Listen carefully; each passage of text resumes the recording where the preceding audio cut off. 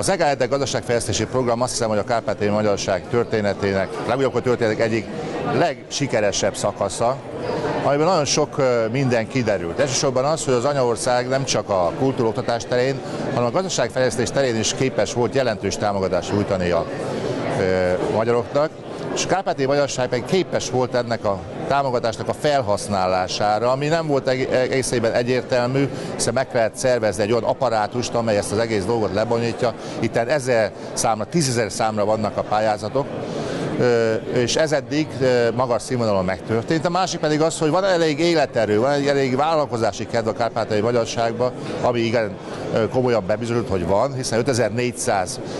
pályázó nyert támogatást vállalkozás és mezőgazdaság fejlesztésében, és hihetetlen szép eredményeket tudtunk elérni. Most, hogy a választási kampány kapcsán járjuk a magyar falakat, mindenütt időszakítunk arra, hogy egy-két helyi vállalkozót meglátogassunk, és el kell mondanom azt, hogy legalábbis akiket meglátogatunk, meg a többiek is rendkívül jól használták fel a támogatást, olyan gépeket, eszközöket szereztek be, amelyek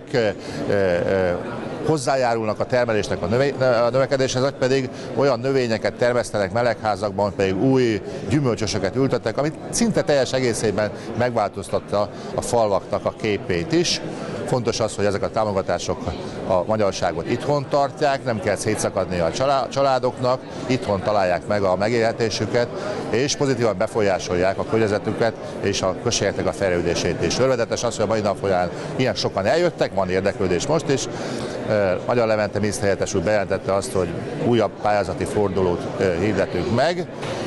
Megkezdődik és intenzívbé válik a, a nagy összegű pályázatnak a, az elbírálása is. Én optimista vagyok, ez még az kellene, hogy hagyjanak bennünket békét az ukrán hatóságok és szervek, illetve javuljon az ukrán-magyar viszony, épüljön ki határmenti infrastruktúra, és akkor Kárpátalja fejlődni fog, ami pozitív dolog, és talán túl leszünk ezen a válságon, amely évek óta meghatározza az életünket.